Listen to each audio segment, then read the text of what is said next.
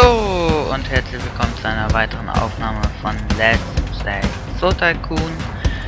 Das ist jetzt die siebte Folge, die sechste war ja gespalten. Den Grund habt ihr am Ende lesen können.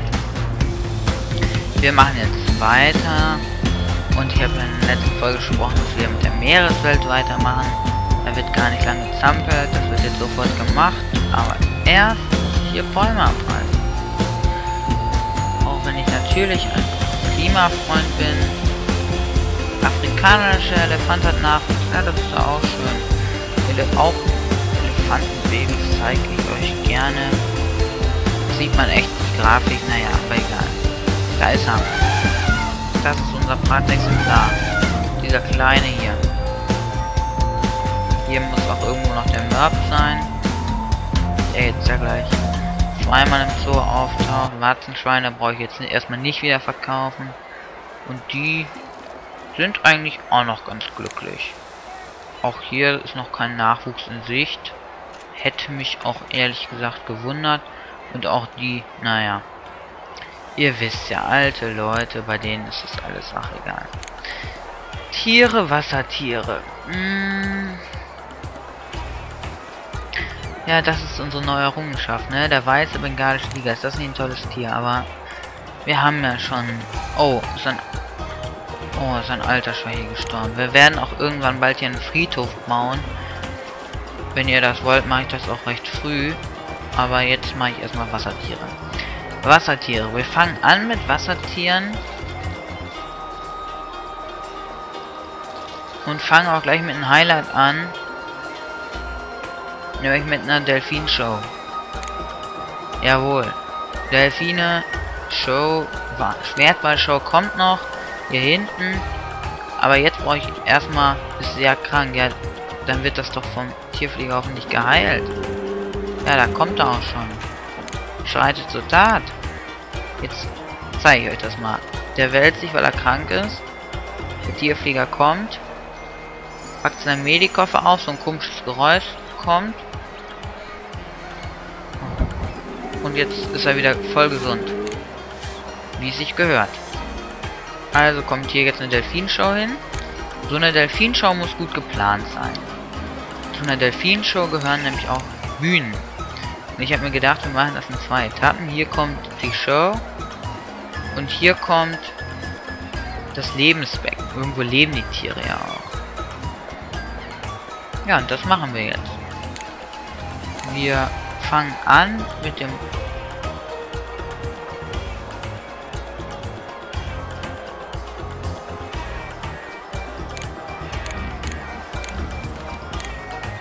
so, die hat hier so Wellen am Rand und ist deswegen. Ich nehme aber die hier. Ist mir jetzt ehrlich gesagt egal, ob die Wellen am Rand hat oder nicht. Ähm.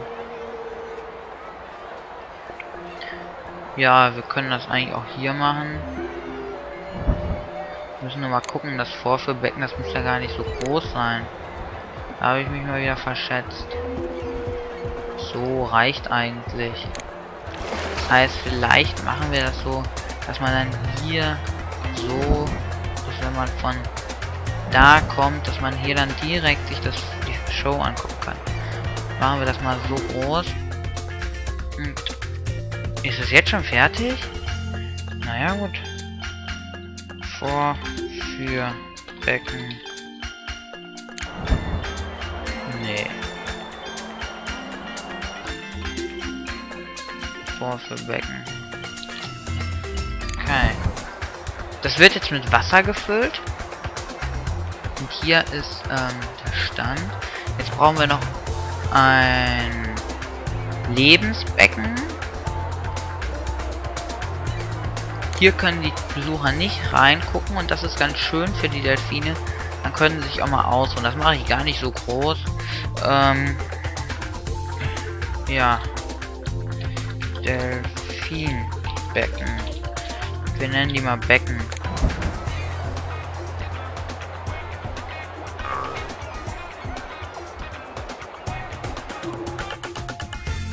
Nein. Blöde. Ich hab's doch schon umgenannt. Delfinbecken. Ach, egal. So. Und jetzt müsste hier...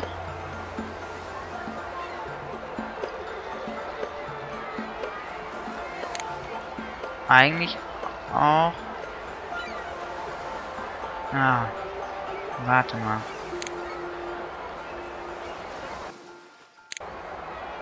So. Und hier müssen wir das wieder zumachen. Vorverbecken, ja. Aber die 13 lassen wir mal weg. So. Ja Mensch, warum klappt das denn nicht? Eigentlich. Und hier nämlich dann so eine Wand rein. Hm.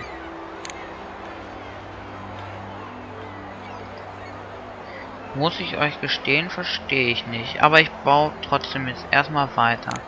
Beide von denen brauchen Wasserpumpen, damit sie nicht dreckig werden. Das ist ganz wichtig. Und wir machen hier jetzt einen großen, ja, komisch, egal. Hier machen wir jetzt das große Gelände, wo anschließend dann auch die Vorführung stattfinden. Das machen wir ein bisschen speziell. Hier können die Besucher lang gehen. Und hier können sie sich hinsetzen. Hier können sie sich was zu essen kaufen. Popcorn und so. Das nervt echt mit diesen Forschung Aber sie können eben nicht hier hinten lang gehen. Sie müssen... Ah, jetzt kommen wir hier die ersten Besucher hin. Ich werde verrückt. Ey, Leute. Dinosaurier, nein, das ist Geldverschwendung. Wir müssen ja auf unsere Finanzen achten. So. Und du. Verpiss dich. Hau ab. Du hast doch Hunger. Geh doch mal. Hier. Hier kannst du was essen. Geh hier mal hin. Hier ist ein Essensautomat. So. Ja, und hier kommen dann nämlich diese Dinger hier hin. Und zwar da, da, da, 4, 5. 5 ist eine gute Zahl. Wir können das nämlich jetzt hier noch erweitern. Da müssen wir mal schauen, wie sich das ähm, entwickelt, ob man das, ob sich das lohnt, das Ganze zu erweitern. Da muss man immer gucken, manchmal lohnt sich das, manchmal lohnt sich das nicht. Hier kommt auf jeden Fall ein Popcorn-Stand hin. Und, äh, eine Walrossschaukel. nee, ne. Oh, Entschuldigung, eine... Ah, jetzt habe ich den Namen vergessen. Ey, ich fehl in dieser Folge nur noch. Eine Schwertfallschaukel. Und dann kommt hier hin ein kleiner Getränkeautomat für Getränke. Und wir stellen hier sogar noch, weil wir natürlich ganz freundlich sind, eine Bank hin.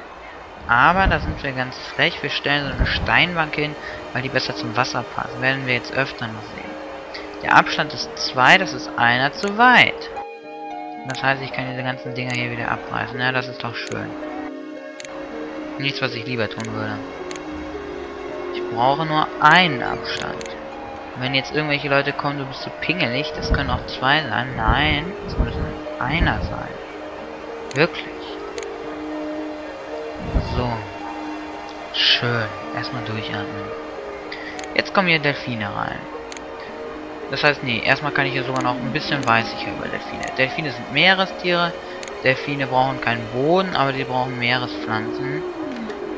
Und hierbei gibt es diese Meerespflanze.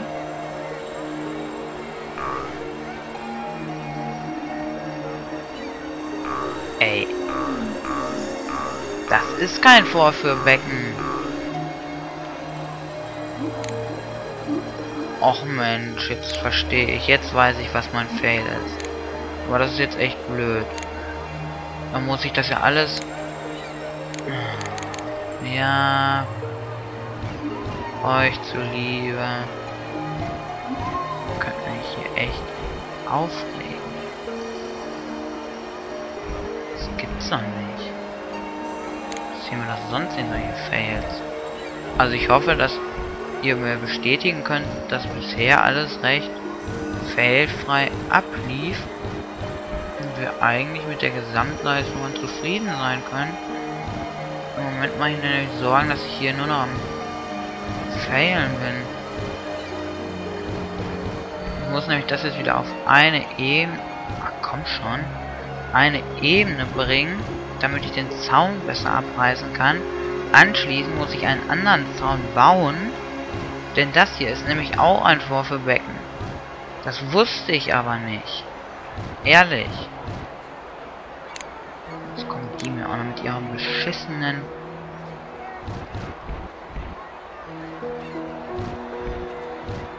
Ah.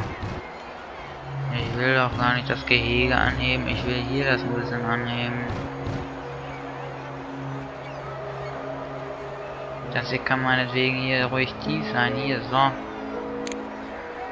In drei Minuten ist auch schon unsere Folge um. Ich habe jetzt eine Stoppuhr, damit mehr solche blöden Sachen nicht mehr passieren. Jetzt sind die Löwen unzufrieden. Also ich merke schon, mein Zoo, das hat sich erledigt. Hier geht doch eh keiner mehr hin. So, jetzt hier mal. Nicht mehr. So, jetzt hier ein richtiges Becken. So. Delfin. Becken. Endgültig.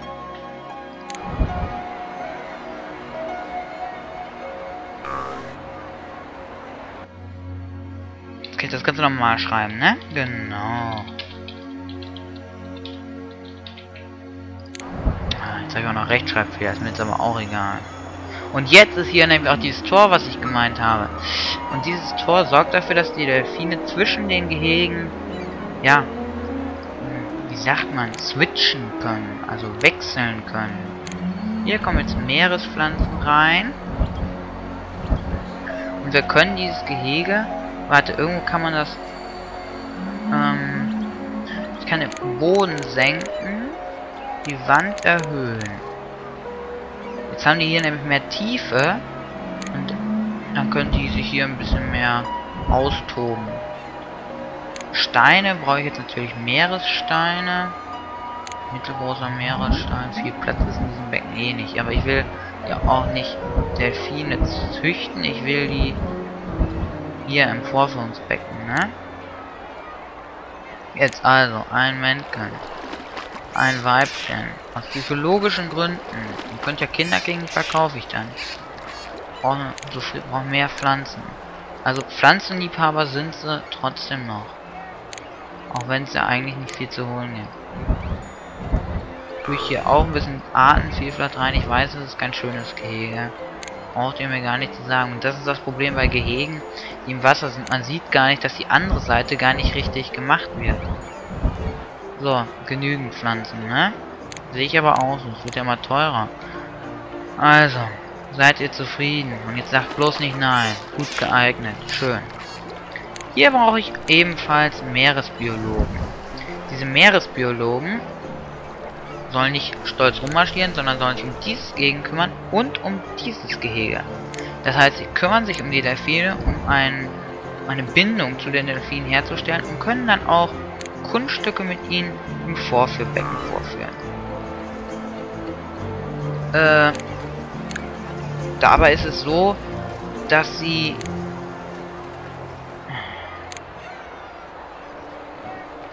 Ich bin jetzt einfach still. So. Meine Uhr piept. Vielleicht habt ihr es auch gehört. Mein Part ist zu Ende. Wir werden im nächsten Part hier das Delfinbecken machen. Ja.